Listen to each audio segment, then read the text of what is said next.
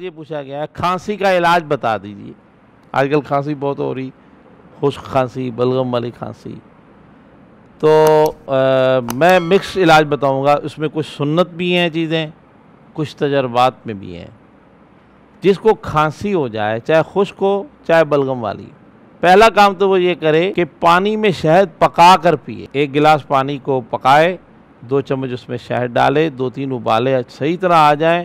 تو بالکل رات کو آخری وقت سوتے وقت پیے، اس کے اوپر پھر پانی نہ پیے۔ انشاءاللہ دو تین دن، چار دن پینے سے اس کو افاقہ ہو جائے گا۔ بلغم بھی وہ نکالے گا اور خوش کھانسی کو بھی ختم کرے گا۔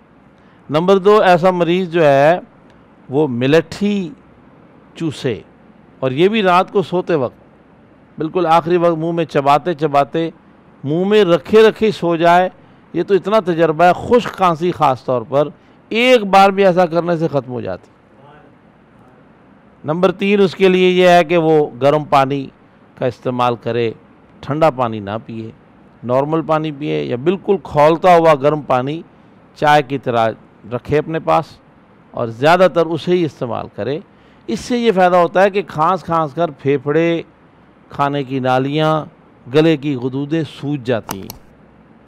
پھر ان کو صحیح کرنے کے لیے بہت اینٹی بائیوٹک اور دوائیاں لینی پڑتی تو یہ دردیں، یہ سوجنے ساری اس گرم پانی سے خود بخود ٹھیک ہوتے جاتے اور چوتھا روحانی علاج اس میں یہ ہے، یا مبتینو، میم، بے، تے، یہ، نون۔ میم، با، تا، یا، نون۔ یا مبتینو یا مبتینو۔ اکیس مرتبہ صبح، اکیس مرتبہ شام۔ پانی بھی دم کر کے پئیں تو کھانسی انشاءاللہ جلدی ٹھیک ہو جاتی۔ ہے اللہ تعالیٰ سمجھنے کی توفیق عطا